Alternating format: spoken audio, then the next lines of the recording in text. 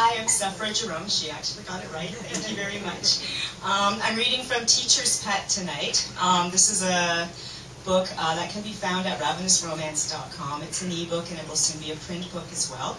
Uh, the um, concept of the story is it's about a woman, Adele, who's an aura painter, um, an aura reader. She runs a lingerie store and she runs art classes. And she um, has this wonderful student named Devin, who's about 25, and he has a lot of talent. And um, they, she admires his artwork in her classes, and eventually they hook up and go back to Devin's house. And Devin has this big, beautiful mural on his wall of a mystical um, fantasy place that they both have seen in their dreams called Harmony.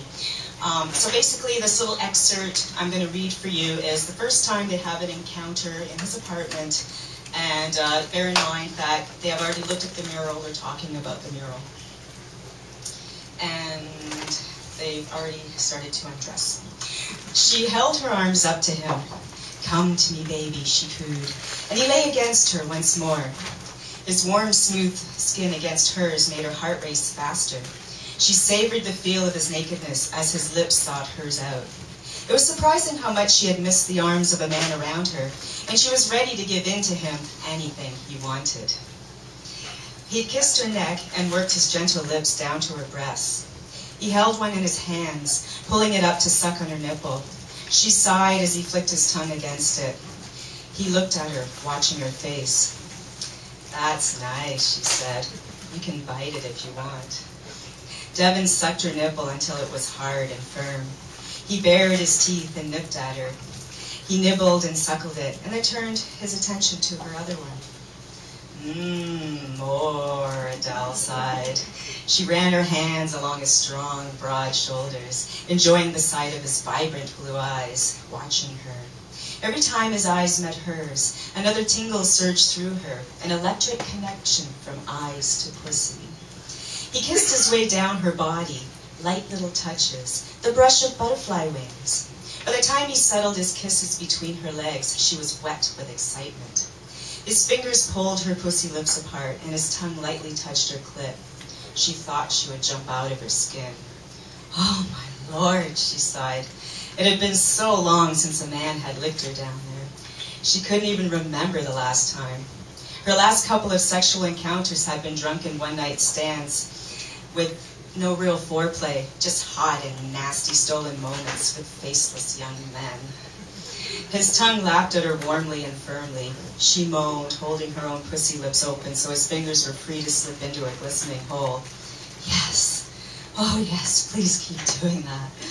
She wiggled her hips gleefully, pushing her pussy against his mouth, trying not to overpower him, but unable to contain her excitement. His tongue licked her clit, along her labia, thrust deep into her vagina and tickled her asshole. She thought she would die when he returned to her clit and sucked on it while his fingers hooked into her G-spot. Oh, my lord, she cried out as he pushed the magic button. So she has an orgasm, and then she gives him a blowjob. and then they go and then they get on to the next part. I'm talking too much again, Adele said nervously. I have this chattering thing where I can't stop talking. It's okay, Devin said as he kissed her again. She took the hint and pressed his mouth against hers. They tasted each other and themselves on their tongues, and the musky connection seemed to create another source of vibration within her. An electric energy tingled whenever he stroked her with his hands.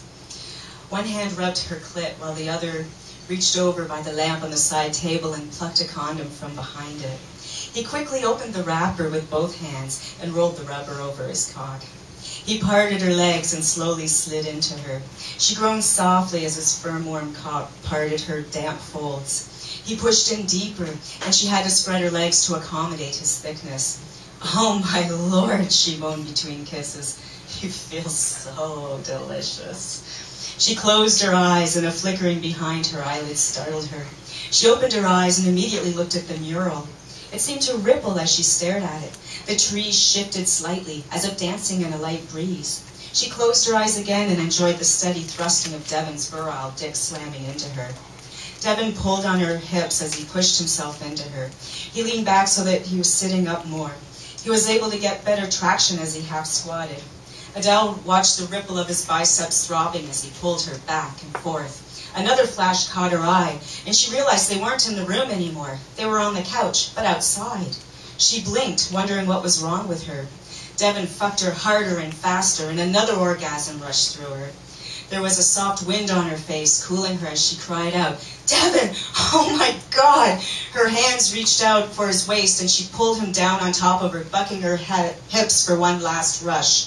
Yes! Oh, that's so good! She cried as a shudder of relief shuddered through her body. Devin kept fucking her until his thrust slowed and deepened. He cried out as he came. Adele opened her eyes and watched his face, enjoying his expression of rapture as he arched his back, the muscles in his chest pulled tight. Devin leaned forward for a moment, then looked up at her with a grin. You were magnificent, he said as he crawled up to kiss her. Their lips met and parted for a moment, then Adele pushed him back. She looked around the room. They were back in Devin's apartment. Thank you very much.